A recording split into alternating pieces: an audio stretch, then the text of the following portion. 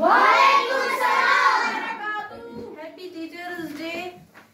If you can read this, thank a teacher. Teaching is a hard work. Dear teachers, thank you for making us what we are today. I am remember the teachers who changed my life because life believed in me ever when I didn't believe in my myself. Without teachers, life would have no colors and true. True teachers is that that who help us thank for ourselves to teach is to test lives forever. God teachers are those who bring out the best in student. I have always felt that the mm, textbook for the mm, purple is his teachers.